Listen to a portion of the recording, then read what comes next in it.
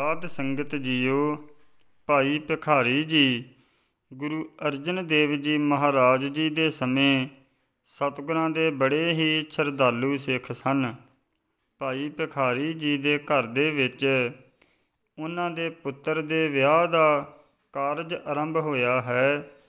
ਕਿਧਰੇ ਭਾਈ ਭਿਖਾਰੀ ਜੀ ਨੇ ਗਹਿਣੇ ਖਰੀਦ ਕੇ ਰੱਖੇ ਨੇ, ਕਿਧਰੇ ਮਠਿਆਈਆਂ ਬਣ ਰਹੀਆਂ ਨੇ ਕਿਧਰੇ ਤਰ੍ਹਾਂ ਤਰ੍ਹਾਂ ਦੇ ਕੱਪੜੇ ਨੇ ਤੇ ਨਾਲ ਹੀ ਭਾਈ ਭਿਖਾਰੀ ਜੀ ਨੇ ਆਪਣੇ ਪੁੱਤਰ ਦੇ ਵਾਸਤੇ ਇੱਕ ਖਫਣ ਅਤੇ ਜਿਸ ਫੱਟੇ ਤੇ ਸ਼ਮਸ਼ਾਨ ਘਾਟ ਲੈ ਕੇ ਮੁਰਦੇ ਨੂੰ ਜਾਂਦੇ ਨੇ, ਉਹ ਫੱਟਾ ਵੀ ਲਿਆ ਕੇ ਰੱਖਿਆ ਹੈ। ਐਸਾ ਭਾਈ ਭਿਖਾਰੀ ਜੀ ਨੇ ਕਿਉਂ ਕੀਤਾ? ਆਓ ਪੂਰੀ ਸਾਖੀ ਸਰਵਣ ਕਰੀਏ।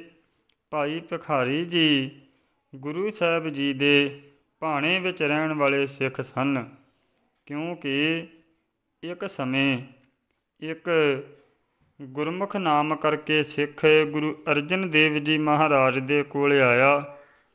ਗੁਰੂ ਸਾਹਿਬ ਜੀ ਮਹਾਰਾਜ ਜੀ ਦੇ ਚਰਨਾਂ ਵਿੱਚ ਦੋਵੇਂ ਹੱਥ ਜੋੜ ਕੇ ਬੇਨਤੀ ਕਰਨ ਲੱਗਾ, ਹੇ ਸਤਿਗੁਰੂ ਜੀ, ਜਿਹੜੇ ਸਿੱਖ ਆਪ ਜੀ ਦੇ ਸਨਮੁਖ ਹੋ ਕੇ ਅੱਠੇ ਪਹਿਰੇ ਆਪ ਜੀ ਦਾ ਭਾਣਾ ਮੰਨਦੇ ਨੇ, ਮੈਨੂੰ ਉਹਨਾਂ ਦੇ ਦਰਸ਼ਨ ਕਰਾਓ, ਜਿਸ ਕਰਕੇ ਉਹਨਾਂ ਦੇ ਦਰਸ਼ਨ ਕਰਨ ਨਾਲ ਮੇਰੇ ਸਾਰੇ ਦੁੱਖ ਨਾਸ਼ ਹੋ ਜਾਣ। ਤਾਂ ਉਸ ਦੀ ਬੇਨਤੀ ਗੁਰੂ ਅਰਜਨ ਦੇਵ ਜੀ ਮਹਾਰਾਜ ਨੇ ਸੁਣੀ। ਸਤਿਗੁਰਾਂ ਨੇ ਆਖਿਆ, ਜੇ ਤੇਰੇ ਦਿਲ ਦੇ ਵਿੱਚ ਐਸੇ ਸਿੱਖ ਨੂੰ ਮਿਲਣ ਦੀ ਚਾਹ ਹੈ, ਜੋ ਹਰ ਵੇਲੇ ਭਾਣੇ ਵਿੱਚ ਪ੍ਰਸੰਨ ਰਹਿੰਦਾ ਹੈ, ਤਾਂ ਫਿਰ ਤੂੰ ਜ਼ਿਲ੍ਹਾ ਗੁਜਰਾਤ ਦੇ ਵਿੱਚ ਸਾਡਾ ਇੱਕ ਸਿੱਖ ਭਾਈ ਭਖਾਰੀ ਉਸ ਦਾ ਨਾਮ ਹੈ, ਰਹਿੰਦਾ ਹੈ। ਜਾ ਕੇ ਉਸ ਪੂਰਨ ਸਿੱਖ ਜੋ ਭਾਣੇ ਦੇ ਮੰਨਣ ਵਾਲਾ ਹੈ, ਉਸ ਦੇ ਦਰਸ਼ਨ ਕਰ, ਤੇਰੇ ਦੁੱਖਾਂ ਦਾ ਨਾਸ਼ ਹੋਏਗਾ। ਉਸ ਵੇਲੇ ਸ੍ਰੀ ਗੁਰੂ ਅਰਜਨ ਦੇਵ ਜੀ ਮਹਾਰਾਜ ਜੀ ਦਾ ਹੁਕਮ ਮੰਨ ਕੇ ਉਹ ਗੁਰਮੁਖ ਨਾਮੀ ਸਿੱਖ ਉਸੇ ਵੇਲੇ ਹੀ ਗੁਜਰਾਤ ਨੂੰ ਚਾਲੇ ਮਾਰਦਾ ਹੈ।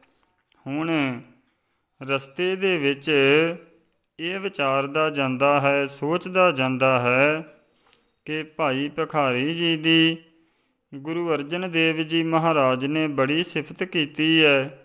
ਸਤਿਗੁਰਾਂ ਨੇ ਆਪ ਦੱਸਿਆ ਕਿ ਇਹ ਸਿੱਖ ਭਾਣੇ ਵਿੱਚ ਰਹਿੰਦਾ ਹੈ। ਇਹ ਕੋਈ ਬੜਾ ਹੀ ਚੰਗਾ ਸਿੱਖ ਹੋਵੇਗਾ, ਬੜੇ ਉੱਚੇ ਸੁੱਚੇ ਵਾਲੇ ਜੀਵਨ ਦਾ ਹੋਵੇਗਾ। ਤਾਂ ਸਾਧ ਸੰਗਤ ਜੀਓ, ਮਨ ਦੇ ਵਿੱਚ ਇਹ ਵੀ ਵਿਚਾਰਾਂ ਕਰਦਾ ਜਾਂਦਾ ਹੈ ਕਿ ਜਾ ਕੇ ਵੇਖਦਾ ਹਾਂ ਕਿ ਉਹ ਪ੍ਰਭੂ ਦਾ ਭਾਣਾ ਮੰਨਦਾ ਕਿਸ ਤਰ੍ਹਾਂ ਹੋਵੇਗਾ? ਕਿਰਤ ਵਿਰਤ ਕਿਸ ਤਰ੍ਹਾਂ ਕਰਦਾ ਹੋਵੇਗਾ?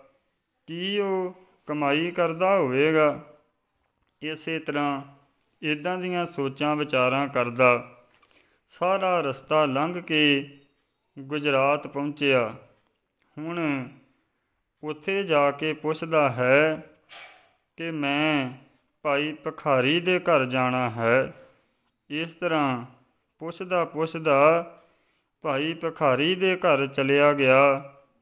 ਦੱਸਣ ਵਾਲੇ ਨੇ ਦੱਸਿਆ ਕਿ ਜਿਸ ਘਰ ਦੇ ਵਿੱਚ ਵਿਆਹ ਦੀਆਂ ਤਿਆਰੀਆਂ ਹੋ ਰਹੀਆਂ ਹਨ, ਉਹ ਭਾਈ ਭਖਾਰੀ ਦਾ ਘਰ ਹੈ, ਉਸ ਦੇ ਪੁੱਤਰ ਦਾ ਵਿਆਹ ਹੋਣ ਵਾਲਾ ਹੈ। ਜਾਂ ਇਹ ਗੁਰਮੁਖ ਨਾਮੀ ਸਿੱਖ ਭਾਈ ਭਖਾਰੀ ਦੇ ਘਰ ਪਹੁੰਚਿਆ ਤੇ ਜਾ ਕੇ ਕੀ ਵੇਖਦਾ ਹੈ ਕਿ ਸੱਚਮੁੱਚ ਹੀ ਬੜੀਆਂ ਖੁਸ਼ੀਆਂ ਹੋ ਰਹੀਆਂ ਨੇ ਅਤੇ ਭਾਈ ਭਖਾਰੀ ਜੀ, ਜਿਨ੍ਹਾਂ ਦੇ ਘਰ ਦੇ ਵਿੱਚ ਪੁੱਤਰ ਦੇ ਵਿਆਹ ਦਾ ਸਾਰਾ ਹੀ ਕਾਰਜ ਆਰੰਭ ਹੋ ਚੁੱਕਾ ਹੈ, ਵਿਆਹ ਦਾ ਦਿਨ ਜਾਣ ਕੇ ਇਸਤਰੀਆਂ ਖੁਸ਼ੀ ਦੇ ਗੀਤ ਗਾ ਰਹੀਆਂ ਨੇ। ਇਸੇ ਤਰ੍ਹਾਂ ਤਰ੍ਹਾਂ ਤਰ੍ਹਾਂ ਦੇ ਪਕਵਾਨ ਬਣ ਰਹੇ ਨੇ। ਤੇ ਭਾਈ ਭਿਖਾਰੀ ਜੀ, ਇੱਕ ਪੁਰਾਣੀ ਜੀ ਪਾਟੀ ਧਰੀ, ਉਸ ਨੂੰ ਸੀ ਰਹੇ ਸਨ। ਤਾਂ ਉਸ ਵੇਲੇ ਇਹ ਗੁਰਮੁਖ ਨਾਮੀ ਸਿੱਖ ਭਾਈ ਭਿਖਾਰੀ ਜੀ ਨੂੰ ਜਾ ਕੇ ਆਖਦਾ, ਪੈਰੀ ਪੈਂਦਾ ਹਾਂ। ਭਾਈ ਭਿਖਾਰੀ ਜੀ ਦੇ ਕੋਲ ਬੈਠ ਗਿਆ। ਆਖਣ ਲੱਗਾ, ਮੈਨੂੰ ਤੁਹਾਡੇ ਕੋਲ ਸ੍ਰੀ ਗੁਰੂ ਅਰਜਨ ਦੇਵ ਜੀ ਮਹਾਰਾਜ ਨੇ ਭੇਜਿਆ ਹੈ। ਤਾਂ ਭਾਈ ਭਖਾਰੀ ਜੀ ਨੇ ਉਹ ਸਿੱਖ ਗੁਰੂ ਅਰਜਨ ਦੇਵ ਜੀ ਮਹਾਰਾਜ ਦੇ ਕੋਲੋਂ ਆਇਆ ਸੀ। ਇਹ ਜਾਣ ਕੇ ਬੜਾ ਹੀ ਉਸ ਦਾ ਸਤਿਕਾਰ ਕੀਤਾ, ਬੜਾ ਸਨਮਾਨ ਕੀਤਾ ਤੇ ਭਾਈ ਭਖਾਰੀ ਜੀ ਨੇ ਉਸ ਸਿੱਖ ਨੂੰ ਮੱਥਾ ਟੇਕ ਕੇ ਆਪਣੇ ਕੋਲ ਬਿਠਾ ਲਿਆ ਹੈ। ਤਾਂ ਜਿਸ ਕੰਮ ਕਰਨ ਵਿੱਚ ਭਾਈ ਭਖਾਰੀ ਜੀ ਲੱਗੇ ਹੋਏ ਸਨ ਜਿਸ ਨੂੰ ਦੇਖ ਦੇਖ ਕੇ ਗੁਰਮੁਖ ਬੜਾ ਹੈਰਾਨ ਹੋਣ ਲੱਗਾ। ਉਸ ਵੇਲੇ ਭਾਈ ਭਖਾਰੀ ਜੀ ਉਸ ਗੁਰਮੁਖ ਦੀ ਬਾਹ ਫੜਦੇ ਨੇ। ਆਖਦੇ ਨੇ, ਆ, ਤੈਨੂੰ ਮੈਂ ਵਿਆਹ ਦੀ ਸਾਰੀ ਸਮੱਗਰੀ ਵਿਖਾਵਾਂ ਪਹਿਲਾਂ। ਆ ਵੇਖ, ਆ, ਕੱਪੜੇ ਸਵਾਏ ਨੇ। ਇਹ ਮੇਰੇ ਪੁੱਤਰ ਨੇ ਵਿਆਹ ਵਾਲੇ ਦਿਨ ਪਾਉਣੇ ਨੇ। ਆ ਵੇਖ ਆ ਸੁਨਿਆਰੇ ਦੇ ਕੋਲੋਂ ਗਹਿਣੇ ਬਣਵਾ ਕੇ ਲਿਆਂਦੇ ਨੇ, ਜੋ ਵਿਆਹ ਵਾਲੇ ਦਿਨ ਕੰਮ ਆਉਣਗੇ। ਇਸੇ ਤਰ੍ਹਾਂ ਇੱਧਰ ਹਲਵਾਈ ਲੱਗੇ ਹੋਏ ਨੇ। ਆ ਵੇਖ, ਆ ਮਠਿਆਈਆਂ ਬਣ ਰਹੀਆਂ ਨੇ। ਹੋਰ, ਅੱਗੇ ਜਦੋਂ ਉਸ ਗੁਰਮੁਖ ਸਿੱਖ ਨੂੰ ਲੈ ਕੇ ਗਏ ਨੇ, ਤਾਂ ਉਹ ਵੇਖਣ ਲੱਗਾ ਕਿ ਅੱਗੇ ਮੁਰਦੇ ਨੂੰ ਲਿਜਾਣ ਵਾਸਤੇ ਫੱਟਾ ਪਿਆ ਹੋਇਆ ਤੇ ਖਫਣ ਤਿਆਰ ਕੀਤਾ ਹੋਇਆ ਹੈ। ਗੁਰਮੁਖ ਇਹ ਵੇਖ ਕੇ ਬੜਾ ਹੈਰਾਨ ਹੋਇਆ। ਪੁੱਛਣ ਲੱਗਾ, ਭਾਈ ਭਿਖਾਰੀ ਜੀ ਨੂੰ ਕਿ ਵਿਆਹ ਦੀਆਂ ਸਮੱਗਰੀਆਂ ਦੇ ਵਿੱਚ ਆ ਮ੍ਰਿਤਕ ਦਾ ਸਮਾਨ ਕਿਸ ਵਾਸਤੇ ਰੱਖਿਆ ਹੋਇਆ? ਤਾਂ ਭਾਈ ਭਿਖਾਰੀ ਜੀ ਆਖਣ ਲੱਗੇ, ਕਿ ਇਹ ਤੈਨੂੰ ਉਦੋਂ ਦੱਸਾਂਗੇ ਜਦੋਂ ਇਸ ਸਮਾਨ ਦੀ ਲੋੜ ਪਵੇਗੀ ਇਸ ਤਰ੍ਹਾਂ ਭਾਈ ਭਖਾਰੀ ਜੀ ਨੇ ਸਾਰੀ ਸਮੱਗਰੀ ਵਿਖਾਈ ਤੇ ਫਿਰ ਜਿੱਥੇ ਪਹਿਲਾਂ ਬੈਠੇ ਸਨ, ਉੱਥੇ ਆ ਗਏ ਜਿੱਥੇ ਬੈਠ ਕੇ ਭਾਈ ਭਖਾਰੀ ਜੀ, ਉਹ ਪਾਟੀ ਦਰੀ ਸੀ ਰਹੇ ਸਨ। ਹੁਣ ਉਹ ਗੁਰਮੁਖ ਨਾਮੀ ਸਿੱਖ ਦਿਲ ਦੇ ਵਿੱਚ ਵਿਚਾਰਦਾ ਹੈ, ਹੈਰਾਨ ਵੀ ਹੁੰਦਾ ਹੈ ਕਿ ਸਤਗੁਰਾਂ ਨੇ ਭਾਈ ਭਖਾਰੀ ਦੀ ਬੜੀ ਉਪਮਾ ਕੀਤੀ ਸੀ। ਪਰ ਇਹ ਤਾਂ ਘਰ ਦੇ ਜੰਜਾਲਾਂ ਦੇ ਵਿੱਚ ਫਸਿਆ ਪਿਆ ਹੈ। ਇਹ ਸਮਗਰੀ ਵਿਖਾਈ ਜਾ ਰਿਹਾ। ਇਹ ਪਰਮੇਸ਼ਰ ਦੀ ਭਗਤੀ ਕਿਹੜੇ ਵੇਲੇ ਕਰਦਾ ਹੋਏਗਾ? ਭਾਣਾ ਕਿਸ ਤਰ੍ਹਾਂ ਮੰਨਦਾ ਹੋਏਗਾ? ਇਸੇ ਤਰ੍ਹਾਂ ਰਾਤ ਉਹ ਗੁਰਮੁਖ ਸਿੱਖ ਉੱਥੇ ਹੀ ਰਿਹਾ। ਰਾਤ ਹੋਈ ਤਾਂ ਭਾਈ ਭਿਖਾਰੀ ਨੇ ਗੁਰਮੁਖ ਸਿੱਖ ਨੂੰ ਬੜੇ ਪ੍ਰੇਮ ਨਾਲ ਭੋਜਨ ਛਕਾ ਕੇ ਬੜੇ ਸੁੰਦਰ ਪਲੰਘ ਉੱਤੇ ਸਮਾਇਆ ਹੈ। ਅਗਲੇ ਦਿਨ ਬਰਾਤ ਸੀ। ਸਾਰਾ ਕਬੀਲਾ ਆ ਟੁਕਿਆ ਪੁੱਤਰ ਨੂੰ ਘੋੜੀ ਤੇ ਚੜਾ ਕੇ ਬੜੇ ਚਾਵਾਂ ਨਾਲ ਜੰਜ ਲੈ ਕੇ ਗਏ ਨੇ। ਅੱਗੋਂ ਕੁੜਮਾ ਨੇ ਵੀ ਬੜਾ ਸਵਾਗਤ ਕੀਤਾ। ਪੁੱਤਰ ਨੂੰ ਸਮੇਤ ਵਿਆਹ ਕਰਕੇ ਘਰ ਲਿਆਂਦਾ। ਬੜੇ ਸਾਰੇ ਖੁਸ਼ੀਆਂ ਦੇ ਵਾਜੇ ਵੱਜੇ ਮੰਗਲਚਾਰ ਹੋਏ। ਤਾਂ ਉਹ ਗੁਰਮੁਖ ਸਿੱਖ ਵੀ ਉੱਥੇ ਹੀ ਭਾਈ ਭਖਾਰੀ ਦੇ ਘਰ ਦੇ ਵਿੱਚ ਹੀ ਹੈ। ਹੁਣ ਉਹ ਕੀ ਵੇਖਦਾ ਹੈ ਕਿ ਦੋ ਕੋ ਦਿਨ ਹੀ ਬੀਤੇ ਨੇ ਅਜੇ ਵਿਆਹ ਹੋਏ ਨੂੰ। ਅਚਾਨਕ ਭਾਈ ਭਖਾਰੀ ਦੇ ਪੁੱਤਰ ਦੇ ਪੇਟ ਦੇ ਵਿੱਚ ਬੜੀ ਭਿਆਨਕ ਦਰਦ ਹੋਈ ਹੈ।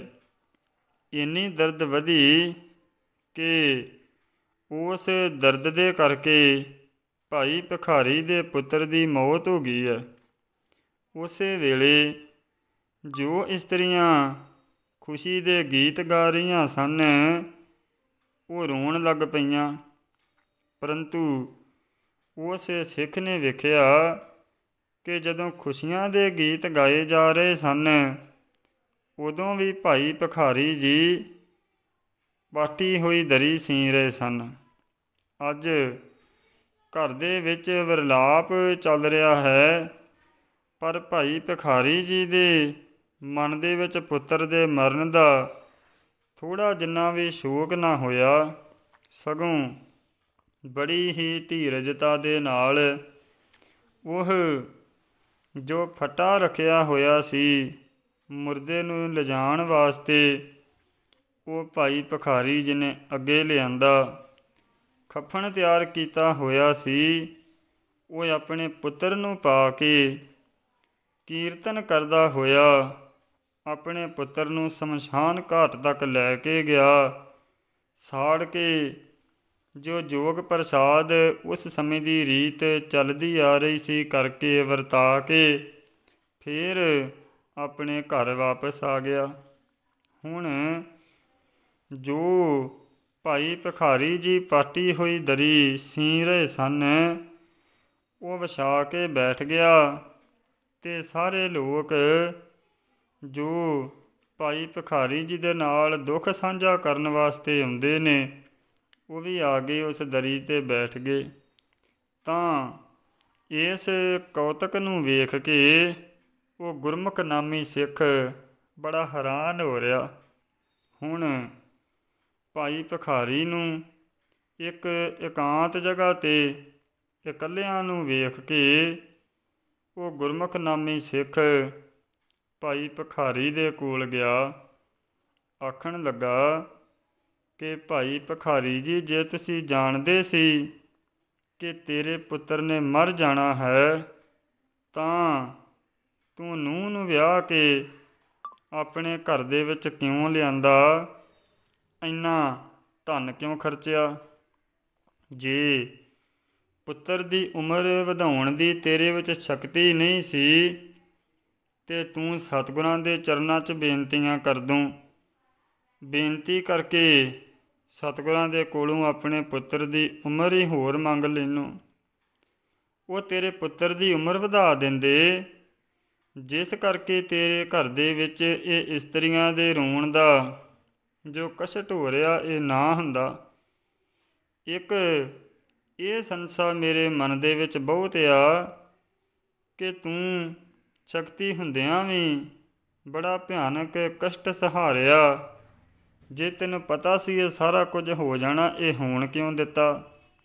ਉਸ ਵੇਲੇ ਭਾਈ ਭਖਾਰੀ ਜੀ ਬੜੇ ਪਿਆਰ ਦੇ ਨਾਲ ਜਵਾਬ ਦਿੰਦੇ ਨੇ, ਆਖਣ ਲੱਗੇ ਸੁਣ ਭਾਈ ਸਿੱਖਾ, ਜੋ ਪਰਮੇਸ਼ਰ ਦੇ ਕੀਤੇ ਹੋਏ ਤੇ ਕਿੰਤੂ ਪਰੰਤੂ ਕਰਦੇ ਆ, ਉਹ ਮਨਮੁਖਿਆ ਤੇ ਜੋ ਮਨੁੱਖ ਉਸ ਪਰਮੇਸ਼ਰ ਦੀ ਬਣਾਈ ਵਿਧ ਨੂੰ ਮੇਟਣ ਦਾ ਯਤਨ ਕਰਦੇ ਆ, ਉਹਨਾਂ ਮਨਮੁਖਾਂ ਦਾ ਪਰਮੇਸ਼ਰ ਦੇ ਨਾਲ ਕਦੇ ਮਿਲਾਪ ਨਹੀਂ ਹੁੰਦਾ।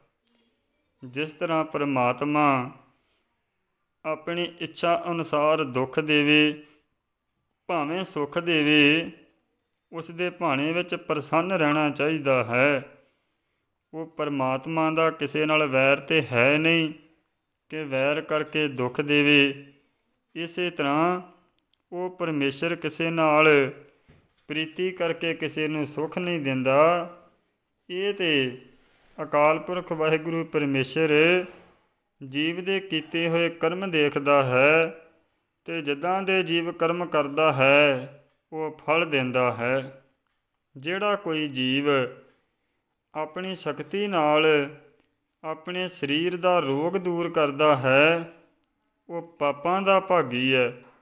ਉਹ ਜ਼ਰੂਰ ਹੀ ਦੁੱਖ ਭੋਗਦਾ ਹੈ।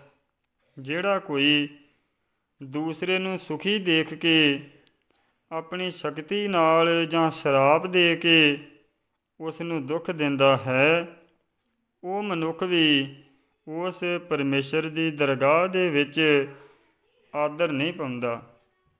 ਤਾਂ ਫਿਰ ਭਾਈ ਭਖਾਰੀ ਨੇ ਆਖਿਆ हे ਭਾਈ ਗੁਰਮੁਖ, ਝੂਠੇ ਪਦਾਰਥਾਂ ਦੀ ਪ੍ਰਾਪਤੀ ਵਾਸਤੇ ਸਤਿਗੁਰਾਂ ਤੋਂ ਕੀ ਮੰਗਣਾ ਹੈ? ਜੇ ਮੰਗਣਾ ਵੀ ਹੋਵੇ ਤੇ ਸੱਚਾ ਨਾਮ ਮੰਗੀਏ, ਜਿਹੜਾ ਲੋਕ ਪਰਲੋਕ ਦੇ ਵਿੱਚ ਨਾਲ ਨਿਭਦਾ ਹੈ। हे ਭਾਈ ਗੁਰਮੁਖ, ਇਸ ਤਰ੍ਹਾਂ ਦੀ ਵਿਚਾਰ ਪੱਲੇ ਵਿੱਚ ਜਦੋਂ ਬੰਨੀ ਜਾਵੇ, ਤਾਂ ਪਰਮੇਸ਼ਰ ਦੇ ਭਾਣੇ ਵਿੱਚ ਰਿਹਾ ਜਾਂਦਾ ਹੈ। ਸਾਧ ਸੰਗਤ ਜੀਓ, ਜਦੋਂ ਇਹ ਵਿਚਾਰਾਂ ਭਾਈ ਗੁਰਮੁਖ ਨੇ ਸੁਣੀਆਂ, ਤਾਂ ਉਹ ਸਮਝ ਗਿਆ ਕਿ ਪਰਮੇਸ਼ਰ ਦੇ ਭਾਣੇ ਦੇ ਵਿੱਚ ਇਹ ਭਾਈ ਭਖਾਰੀ ਦੇ ਨਾਲੋਂ ਜ਼ਿਆਦਾ ਹੋਰ ਕੋਈ ਨਹੀਂ ਰਹਿ ਸਕਦਾ। ਪਰਮੇਸ਼ਰ ਦਾ ਭਾਣਾ ਮੰਨਣਾ ਬੜਾ ਔਖਾ ਹੈ। ਦੁੱਖ ਦੇ ਵਿੱਚ ਵੀ ਧੀਰਜ ਰੱਖਣਾ, ਸੁੱਖ ਦੇ ਵਿੱਚ ਹੰਕਾਰ ਨਾ ਕਰਨਾ ਉਸ ਨੂੰ ਭੁੱਲਣਾ ਨਾ। ਗੁਰਪ੍ਰਤਾਪ ਸੂਰਜ ਰਾਸ 3 ਅੰਸੂ 69 ਦੇ ਵਿੱਚ ਇਹ ਇਤਿਹਾਸ ਲਿਖਿਆ ਹੈ, ਤਾਂ ਤੇ ਭੋ ਗੁਰਮੁਖ ਸੁਨ ਲੀਜੈ ਭਾਣਾ ਮੰਨਨ ਮਨ ਥਿਰ ਕੀਜੈ, ਸਤਨਾਮ ਕੋ ਸਿਮਰਨ ਕਰਨੂ, ਤਨ ਹੰਤਾ ਕੋ ਹਿਰਦੈ ਬਸਰਨੂ, ਮੁਕਤੀ ਕੇ ਸਾਧਨ ਇਹ ਤੀਨ, ਕਹੈ ਗੁਰੂ ਅਰ ਸੰਤ ਪਰਬੀਨ, ਤਾਂ ਸਾਧ ਸੰਗਤ ਜੀਓ, ਐਸੇ ਸਨ ਭਾਈ ਪਖਾਰੀ ਜੀ, ਜਿਨ੍ਹਾਂ ਨੇ ਬ੍ਰਹਮ ਗਿਆਨੀ ਵਾਲੀ ਅਵਸਥਾ ਪਾਈ ਹੈ ਪਰਮੇਸ਼ਰ ਦੇ ਭਾਣੇ ਦੇ ਵਿੱਚ। ਆਨੰਦ ਤੇ ਪ੍ਰਸੰਨ ਦੇ ਵਿੱਚ ਆਪਣਾ ਜੀਵਨ ਬਤੀਤ ਕਰਦੇ ਨੇ। ਸੋ, ਇਹ ਵੀਡੀਓ ਜੇ ਆਪ ਜੀ ਨੂੰ ਚੰਗੀ ਲੱਗੀ ਲਾਈਕ ਸ਼ੇਅਰ ਜ਼ਰੂਰ ਕਰਿਆ ਕਰੋ ਅਤੇ ਆਪਣੇ ਕੀਮਤੀ ਵਿਚਾਰ ਸੁਝਾਅ ਸਾਨੂੰ ਕਮੈਂਟਾਂ ਰਾਹੀਂ ਜ਼ਰੂਰ ਦੱਸਿਆ ਕਰੋ ਤਾਂ ਜੋ ਅੱਗੇ ਵਾਸਤੇ ਆਪਾਂ ਵਧੀਆ ਢੰਗ ਨਾਲ ਇਤਿਹਾਸਿਕ ਕਥਾ ਕਹਾਣੀਆਂ ਆਪ ਜੀ ਵਾਸਤੇ ਲੈ ਕਰਕੇ ਆਈਏ। ਸੋ ਜਿਨ੍ਹਾਂ ਗੁਰਮੁਖਾਂ ਨੇ ਸਾਡਾ ਚੈਨਲ ਸਬਸਕ੍ਰਾਈਬ ਨਹੀਂ ਕੀਤਾ, ਜ਼ਰੂਰ ਸਬਸਕ੍ਰਾਈਬ ਕਰੋ ਸਤਿਗੁਰੂ ਸੱਚੇ ਪਾਤਸ਼ਾਹ ਜੀ ਕਿਰਪਾ ਕਰਨ, ਸਾਰੀਆਂ ਸੰਗਤਾਂ ਦੀਆਂ ਹਾਜ਼ਰੀਆਂ ਦਰ ਤੇ ਪ੍ਰਵਾਨ ਕਰਨ, ਆਸਾਂ ਮਰਾਦਾਂ ਪੂਰੀਆਂ ਕਰਨ, ਆਪਣੇ ਦਰੋਂ ਘਰੋਂ ਨਾਮਦਾਨ ਗੁਰਸਿੱਖੀ ਜੀਵਨ ਬਖਸ਼ ਕੇ ਨਿਹਾਲ ਨਿਹਾਲ ਕਰਨ ਜੀ। ਨਾਨਕ ਨਾਮ ਚੜ੍ਹਦੀ ਕਲਾ, ਤੇਰੇ ਭਾਣੇ ਸਰਬੱਤ ਦਾ ਭਲਾ। ਵਾਹਿਗੁਰੂ ਜੀ ਕਾ ਖਾਲਸਾ, ਵਾਹਿਗੁਰੂ ਜੀ ਕੀ ਫਤਿਹ।